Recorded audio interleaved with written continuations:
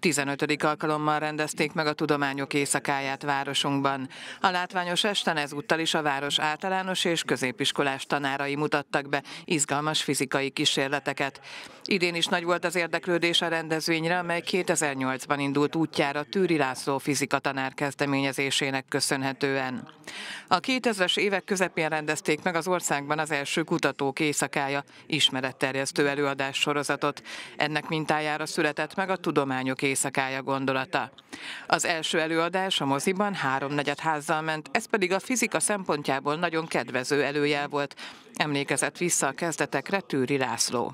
A következő évben akkora teltház volt, mert elment a híre a kísérleteknek, hogy körbe álltak másfél órát az előadásomon. Egyedül indultam, illetve a Kozma Sándor kollégám segített benne, asszisztált nekem, meg besegített a kísérletek e, bemutatásába, meg a tévések, és így indult a dolog. Végül is a kezdeteket egyedül indítottam, és utána, most az utóbbi években kértem föl kollégákat, hogy most már én kezdek kifelé haladni a korom miatt, hogy ők is betársuljanak, és nagyon szívesen vesznek részt ebbe, úgy veszem észre. Az ilyen események jól mutatják, mutatkozik igény a fizika és az az a járó bemutatók iránt. Ennek egyik legfőbb oka, hogy szeretjük testközelből megélni a kísérleteket úgy indult az egész előadás sorozat, hogy olyan kísérleteket mutassunk, amit megdöbbentő.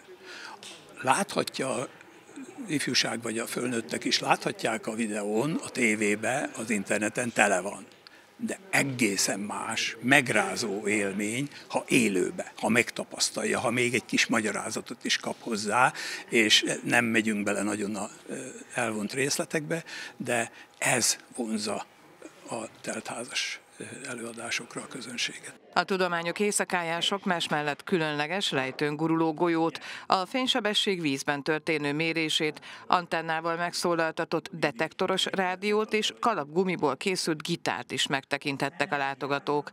Az este folyamán közreműködött Bori Jenő, Hamar László, dr. Salamon József, Kislajos és Kozma Attila.